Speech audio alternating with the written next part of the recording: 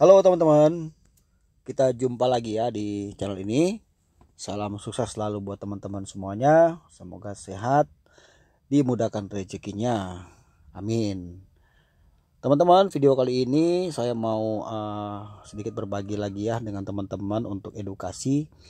Jadi ada pertanyaan sih di komentar ya, nanya cara make gearbox aditif nih gimana gitu ya, cara pemakaian cairan ini gimana. Nah, jadi gini teman-teman, di sini tuh ada contoh kasus ya. Jadi ini ada mobil Toyota Agya. Jadi mobil itu masalahnya kalau masuk pada uh, kondisi kita pindahkan tuas ke R ya, kita geser ke R untuk mundur ya. Itu kalau nggak kita gas ya mobilnya nggak jalan ya. Tapi kalau kita naikin RPM 2000 misalnya dia mau jalan itu pun nyentak ya ngagetin jeduk gitu. Ada jadi ada jeduknya. Tapi kalau untuk yang lainnya ya itu nggak ada masalah ya. Yang D itu drive ya sama yang lainnya pokoknya nggak ada masalah. Problemnya hanya di R nya saja. Nah teman-teman sebetulnya saya udah buat konten yang uh, mirip begini ya. Udah pernah saya upload juga di video sebelumnya tapi mungkin udah beberapa bulan yang lalu nah jadi di sini saya mau tambahkan lagi penjelasan cara menggunakan gearbox aditif ini jadi gini teman-teman, ketika mobil kita mengalami masalah pada transmisi otomatis ya. Semisalnya nih sama kayak gini ya, masalahnya di R ya, jeduk atau sama sekali loss nggak mau atau mungkin di D ya di drive itu masalah juga nggak mau ya. Uh, delay kah atau dia jeduk kah atau dia misalnya tidak mau responsif ya. Jadi kayaknya lemot gitu di uh, metiknya teman-teman. Uh, sebetulnya itu memang udah ada ciri-ciri masalah pada transmisi otomatis mobil kita ya sebenarnya ya. Contoh kayak mobil ini ya ini masalahnya kan di R ya teman-teman tidak bisa mundur. Uh, bahkan dia bukan cuma delay bahkan jeduk ya itu uh, mengagetin banget. Itu biasanya masalahnya ada di seal hidrolik namanya itu di dalam transmisi ada seal hidrolik itu yang perlu diganti ya. Cuman kan harus turun transmisi harus dibongkar ya. Dan juga harus di uh, bengkel yang biasa menang, uh, menangani metik ya. Jadi tidak boleh sembarangan ke bengkel-bengkel umum yang tidak khusus ya. Harus yang betul-betul paham tentang otomatik. Nah jadi begini teman-teman ya uh, kalau masalah yang sudah saya sebut saya sebutin tadi di awal ada masalah itu di mobil kita ya teman-teman beli aja kayak begini ya. Coba dulu seperti ini ya. Karena ini sudah pernah saya gunakan dan hasilnya lumayan bagus ya teman-teman. Jadi kita beli namanya gearbox aditif ini semacam cairan. Ya kita bisa beli di online ya teman-teman. Di online mana aja sih? Shopee Tokopedia Lazada mana aja. Atau teman-teman bisa nanti langsung cari di toko. Uh, harganya kurang lebih sekitar 100 ribuan lah kurang lebih 100.000 sampai 150.000 lah kira-kira perkiraan harga sekitar segitu ya. Nah, untuk awal ya. Jadi ini saya jelaskan di sini teman-teman perhatikan durasi ini ya. Untuk awal kita mau pakai ketika mobil kita masalah di Matic, maka langkahnya seperti ini teman-teman. Tahapannya kita kuras dulu uh, minyak atau oli metik yang lama kalau teman-teman belum ganti ya kita ganti dengan oli metik yang baru. Nah, baru teman-teman ada baiknya membuka karternya ya atau bak penampung oli metiknya tujuannya apa? Kenapa ini mesti dibuka? Karena ada bekas banyak gram-graman ya yang terjebak di dalam. Di bawah ini biasanya tuh ada magnetnya jadi penting di sini harus dibersihkan karena terkadang kalau kita ganti oli metik ini kan jarang kita buka ya karternya. Padahal di sini banyak sekali gram-graman dan itu akan menyumbat ya jalur-jalur oli pada bagian transmisinya seperti itu. Selanjutnya ini bagian yang penting ya teman-teman. Kalau kita buka karter maka akan ketemu di sini namanya filter ya saringan. Jadi sebelum oli itu disirkulasikan ke seluruh internal metik, maka dia akan melewati saringan ini. Nah, saringan ini kalau bisa teman-teman bersihkan ya, bersihkan aja. Kadang-kadang di sini juga kotor bahkan menyumbat.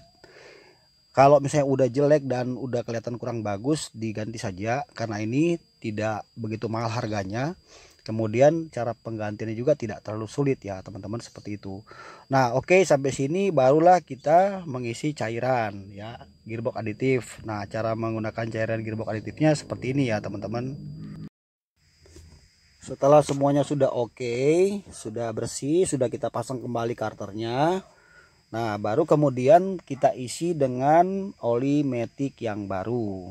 Perlu diingat ya oli metiknya itu tidak boleh sembarangan pakai kalau mobilnya Agia atau Avanza atau apa pun ya teman-teman nanti browsing aja ya cari oli metik itu yang sesuai dengan mobil kita ya. Jadi tidak boleh salah atau sembarangan pemakaian dan pastikan oli yang oli metik yang kita gunakan itu adalah oli yang asli ya bukan oli yang palsu.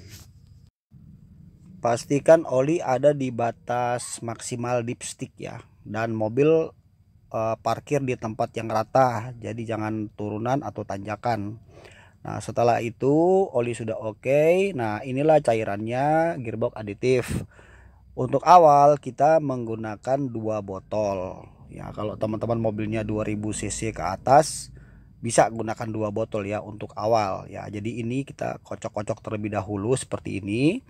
Ya jadi beli dua botol ya teman-teman. Di sini kan saya memberikan contoh saja ya Nah, nanti teman-teman tinggal mencari lubang atau tempat pengisiannya itu melewati dipstick ya, dipstick untuk oli transmisi metik.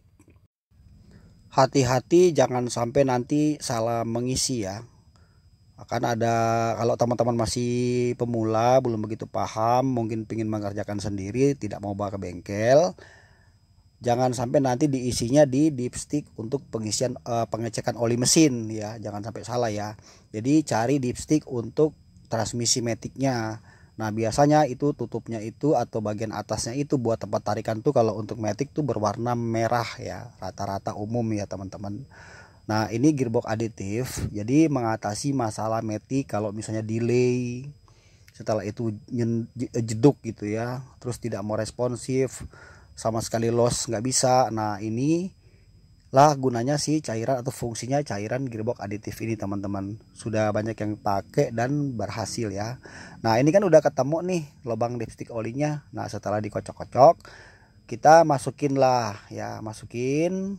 Nah seperti ini contohnya. Nah usahakan mesinnya dalam kondisi dingin ya teman-teman. Baiknya dalam kondisi dingin. Jadi jangan nanti baru sampai langsung dimasukin ya jadi tunggu sampai adem mesinnya sampai dingin baru kita masukin. Nah seperti ini. Nah jadi pastikan oli eh, transmisinya baru. Kalau teman-teman misalnya belum lama ganti yang gak usah ganti nggak apa-apa ya. Penting kita pastikan yang saya jelaskan di awal tadi si karternya itu harus bersih. Karena metik itu kan lubang yang di dalam itu kan juga dia kecil-kecil ya ada apa jalur jalur jalur yang harus dilewati oli itu kadang-kadang tersumbat dengan gram-graman atau filternya yang mampet. Ya itu bisa juga mempengaruhi terjadinya masalah pada otomatis mobil kita terlebih metik mobil metik yang sudah tahun-tahun lama ya teman-teman seperti itu. Nah langkah ini tuh kita bisa buat ya uh, sebelum kita uh, membawa mobil kita ke bengkel metik Tadi masukin dua botol ya seperti ini setelah, setelah sudah selesai. Diamkan saja jangan dihidupkan mesinnya biar nanti cairan ini menyatu dengan si oli metik yang baru ya. Nah, biarkan selama kurang lebih 24 jam atau satu hari. Lebih tidak apa-apa lebih bagus ya. Nah jadi biarkan jangan hidupkan mesinnya. Ya kita menunggu ya. Jadi waiting sampai keesokan harinya seperti itu teman-teman Oke, begitu sudah kita menunggu, nah, waktunya kita mengetes ya. Nah, pada saat pengetesan, teman-teman langsung aja hidupkan mesinnya, mobil ya tunggu sampai panas mesinnya dulu sekitar 5 sampai 10 menit.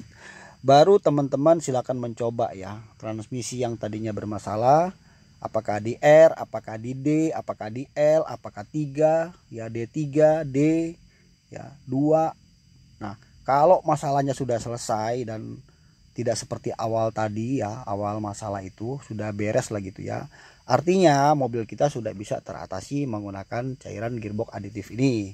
Ya nanti untuk penggantian oli berikutnya cukup tambahkan satu saja satu botol saja. Tapi kalau misalnya sudah pakai begini tetap masih sama kondisinya artinya gearboxnya atau transmisinya mesti perlu di overhaul. Nah teman-teman jadi seperti itulah kurang lebih penjelasan saya bagaimana kita menggunakan cairan ini ya gearbox aditif ini. Dan saya sudah mencoba ke beberapa mobil dan hasilnya bagus. Kalau memang masalahnya di bagian seal hidrolik atau yang lainnya masalah akan teratasi. Tapi kalau ada kerusakan di bagian elektroniknya kemungkinan perlu ditindaklanjuti di bengkel uh, khusus untuk metik ya teman-teman seperti itu Oke, terima kasih teman-teman sudah menonton. Semoga penjelasan ini bisa dapat poinnya ya teman-teman, bermanfaat buat kita semuanya. Uh, jangan lupa teman-teman dukung channel ini ya, subscribe dan kita akan terus berbagi hal-hal yang positif, hal-hal yang mengedukasi buat kita semuanya. Oke teman-teman, selamat mencoba, semoga berhasil. Sampai kita jumpa di video berikutnya. Salam otomotif, salam sukses teman-teman dan God bless.